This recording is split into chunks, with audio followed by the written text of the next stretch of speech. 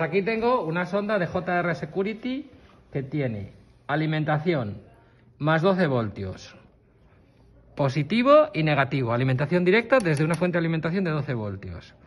Y tiene S y S, simplemente dos cables a la sonda de inundación. Y luego tiene dos bornas NC-NC que están juntas y cuando hay inundación, además de que pita, este, este sirenita que tiene aquí, se abren. Desde esta condición de que se abre, lo que hace es que cuando en estado normal el relé está activado y en esta inundación el relé se desactiva. Y aquí tenemos puesta una condición de encendido de una lámpara a 220, potencia, ¿eh? porque este relé puede cortar hasta 10 amperios a 220 entonces, este relé en estado pasivo va a tener la luz encendida, que es cuando esto está abierto, y en estado activo, que es en estado normal, va a tener la luz apagada.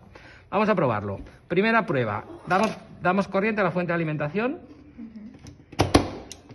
Y con esto ya la sonda vamos a ver que funciona perfectamente bien. ¿Veis a ver? ¿Veis? Ahí, cuando hay inundación, simplemente en cuanto recibe la, en cuanto ve la humedad entre las dos bornas, mis dedos un poco húmedos, esta electrónica, por eso se requiere esta electrónica, detecta la inundación. Pita y desactiva el relé. Y ahora si le damos corriente a la carga, ¿eh? con el relé activado lo tengo en el normalmente en el normalmente abierto y en cuanto se desactiva el relé, se enciende la luz.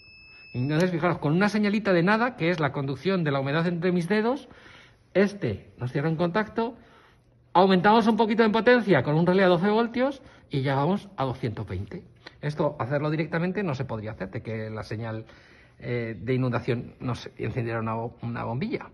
Y ahora, a mayores, si en vez de poner esa bombilla pongo el relé del otro día, podría hacer que en una inundación subieran las compuertas de la presa de Asuán, si quisiera, porque podemos meter ahí ¡pum! un contactor más potente.